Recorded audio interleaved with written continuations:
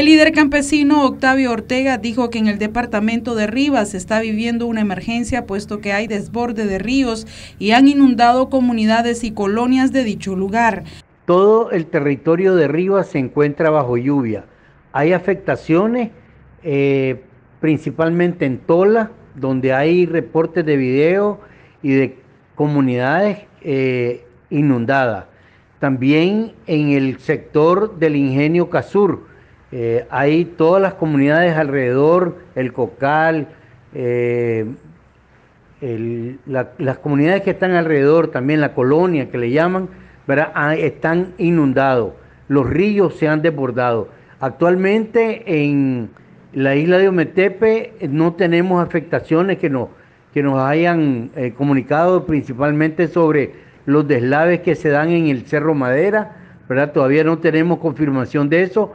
Aquí en Rivas, en la ciudad de Rivas, tenemos inundaciones en casi toda la ciudad. El río de Oro se desbordó, ¿verdad? Ya a estas alturas ha perdido un poco el, el nivel porque se había salido de su cauce normal más o menos unos 100 metros, ¿verdad? 50 metros a cada lado. Y esto provocó inundaciones de, de varias casas en, en diferentes sectores de río, de, principalmente donde se ubican eh, los puentes, los puentes para que se usan para el, tráfico de vehículos y eh, puentes que también la población lo usa para como peatón. Los pobladores de Rivas están sin el suministro de energía eléctrica, dijo el líder campesino Octavio Ortega. Te quiero informar que no hay luz en casi todo el departamento de Rivas. Me dijeron que San Jorge está bien afectado con las inundaciones, también sin luz eléctrica, todo lo que es el, ingenio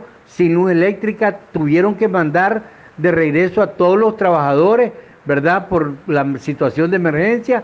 En, en Rivas también estamos sin luz y sin agua. O sea que las afectaciones eh, que está provocando eh, ya la última eh, oleada del huracán han provocado una cantidad enorme de lluvia, árboles caídos en casi el paso de, de la mayoría de las comunidades. Para Noticias 12, Castalia Zapata.